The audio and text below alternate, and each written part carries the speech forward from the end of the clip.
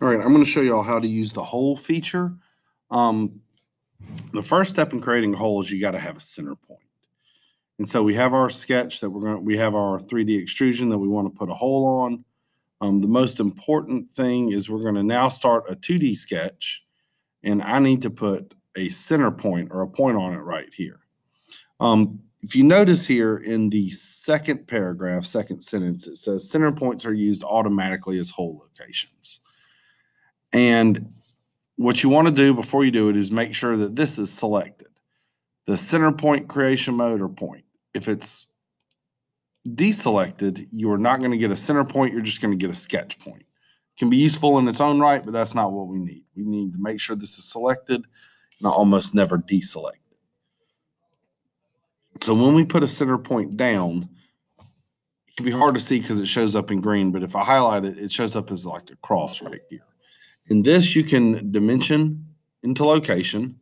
So you can dimension the center of a sketch, just like anything else that you might have done. All right. If you needed to, you could circular pattern, rectangular pattern, any of that kind of stuff. All right. But the very first step in drawing a hole is using a center. We're going to finish our sketch. Now to use the hole feature, if you don't select anything, every single center point that you have will become the same type of hole. And let me show you what I'm talking about. Let's go back here. I will place a couple of more center points. All right, so I select hole. All of these have become a hole. In order to deselect them, we do it just like we deselected the fillet. We hold control and click that center point. Or if you have more than one center point, you can click to select more than one. Another way to make sure that the hole is only created in the one that you want is to click the center point that you want the hole to be made from and then select hole. All right, so let's go through the whole menu. Um, number one, most important thing. So here's the placement from sketch. So we're doing it from the center point on a sketch. It's this menu. These are the different types of holes, right? This is a drilled hole. This is what you think of as just a common hole. This is called a counter bore, all right? The counter bore is a hole that's designed so that when it's the uh, screw head is drilled in, or really it's usually a hex head. When it's drilled in, it sits flush with the surface. A spot face is much like a counter bore. And this is a countersink hole. Countersink holes are used a lot with screws so that once again, when a screw is put into something, it sits flush or even with the surface. All right. Next thing that you can see is drill points. This shows what the end of the hole is going to look like. Is the end of the hole going to be angled or is it going to be flat? The termination, this is where the end of the hole is. You can have a through all, all right? And that's going to go through your entire structure. Or you can say a distance. Now that one 0.25 is obviously a little long, so I'm just going to change this to 0.1. Oh, I'm sorry.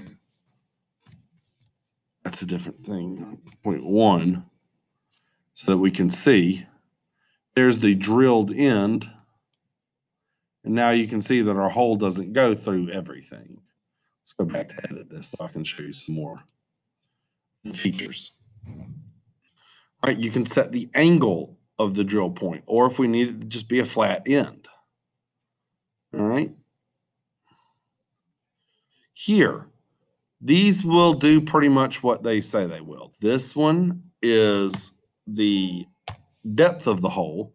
This is pretty consistent across all part, all hole types. This is the diameter of the hole. Another thing that's pretty consistent. You start to see some separate options.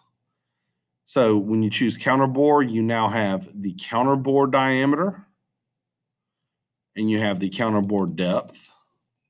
So if I change this to say 0.05 and the diameter to 0.3. So we've changed that. You have the pretty much the same options right here with the spot face hole. And then the countersink is slightly different. You have the diameter of the countersink right here. You have the angle for the screw right here. So if I change this to 80, oh, let's go back and read it.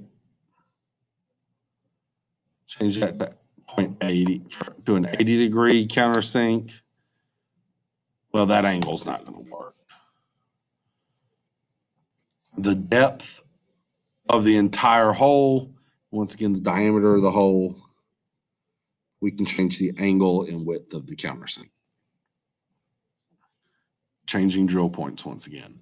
Over here are the types of hole options we have. All right, we have a simple hole. This hole is exactly what it says. It is a basic hole. This is a clearance hole. A clearance hole, once it selects it, is actually designed to let a fastener that you tell it the size, basically screws, it's designed to let them clear the hole at a specific size. So, for instance, the width right here is going to be set for you. This is a tapped hole. And let's let that choose. So, all right. A tapped hole puts a screw thread in the hole. All right. And notice only partial partially down. Um, you can choose the depth of the tap as well as the entire depth of the hole. Remember, that's a tap hole. And from there, once again, you choose your thread type. That's going to determine your hole diameter. Okay, we'll go through all this eventually. Um, right hand or left hand screws. Same thing for a tapered tapped hole. That will give you a thread type, which will automatically set your widths and then you can do your depths yourself. Most of what we're going to be dealing with, though, are going to be simple holes where you do all of these settings. And so that's the basics of the hole. Now, one last thing that you can do, let's say that you have this set and you want to make one more hole like it.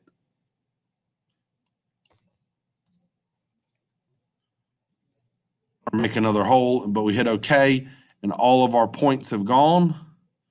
What you need to do is click the drop down by the hole, right click on your sketch and turn the visibility back on to make your center points show back up. That's basically the whole tool.